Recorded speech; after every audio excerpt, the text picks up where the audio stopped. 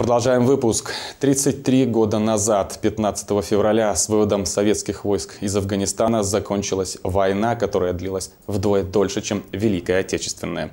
Она шла за тысячу километров от белорусской земли, но оставила раны, которые до сих пор наполнены болью. Через афганскую войну, следуя присяге, прошли свыше 600 тысяч советских солдат и офицеров.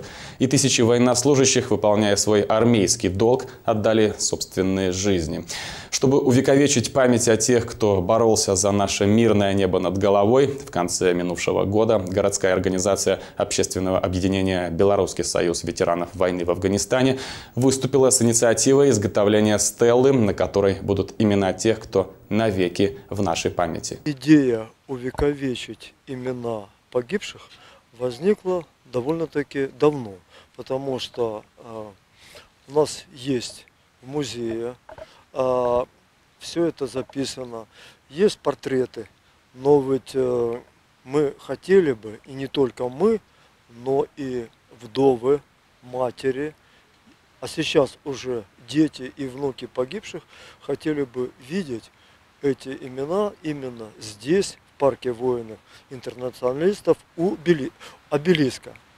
Мы долго совещались, и пришли к единому мнению, что целесообразно это будет сделать в виде стеллы. Тут рядом те люди, наши земляки, которые погибли во время выполнения воинского долга.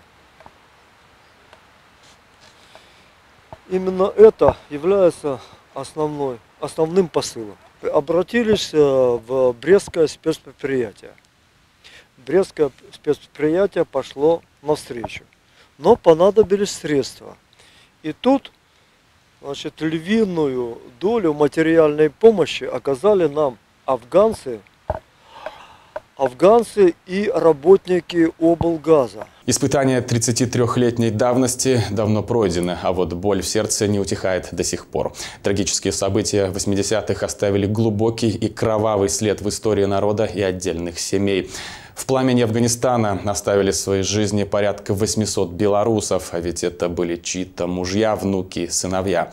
Сохранить память о тех страшных днях – долг каждого из нас. Война, которая длилась вдвое дольше Великой Отечественной, навсегда останется в памяти не только участников, но и тех, кто живет сейчас под мирным небом над головой. Официальное открытие Стеллы состоится 15 февраля в рамках мероприятий, посвященных Дню памяти воинов-интернационалистов.